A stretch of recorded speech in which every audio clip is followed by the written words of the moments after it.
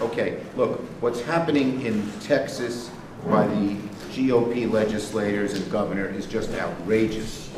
These lawmakers are brave, they're courageous, and they're simply fighting for the right of every Texan to have the right to vote. What could be more all-American than that? These folks are going to be remembered on the right side of history. The governor and the Republican legislators will be remembered on the dark and wrong side of history. Thank you.